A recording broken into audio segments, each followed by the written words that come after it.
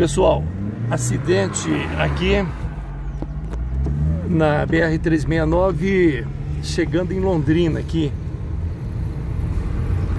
O caminhão tombou no canteiro.